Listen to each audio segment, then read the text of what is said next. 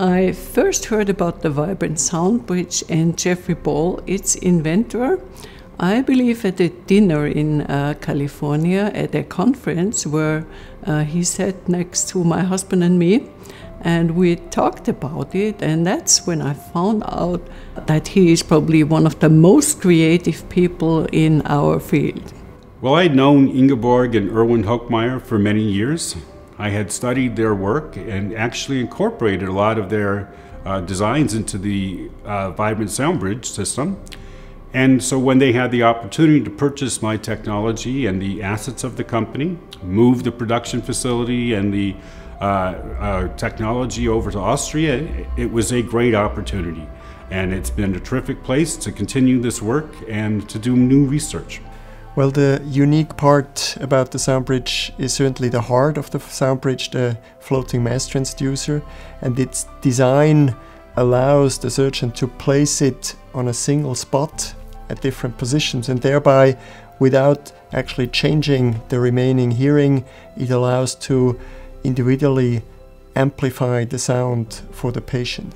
Es war für mich war es eine große Erleichterung, dass ich wieder äh, sehr gut hören konnte. Ich konnte wieder mich verständigen mit äh, Kollegen, mit Familie natürlich in erster Linie. Well, the patients say to me that they're happy with the device for different reasons. First, because they experience a very natural sound. Also, they have an open ear canal, which is important to them.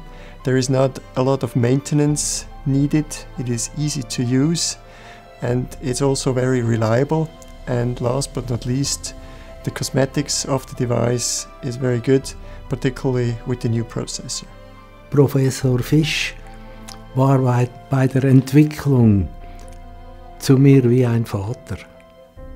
Er hat mich auch überzeugt, dass ich das, äh, die Operation mitmache. Er hat das derart gut mir erklärt, dass ich überhaupt keine Angst mehr hatte. It's nice to see that Medel has actually taken over that spirit of the company and has added responsibility and reliability. And it's also nice to see that Medel is not mainly a commercially driven company and really cares about the patients. Well, the last 20 years have been amazing. We've seen the Soundbridge used in so many ways that we had never thought of.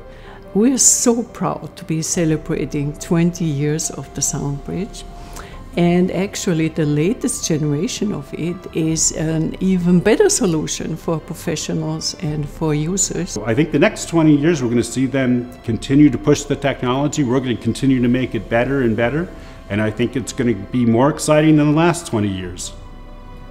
And then we will make sure that all these users in the many countries where they exist will always be offered the latest technology for many, many years to come.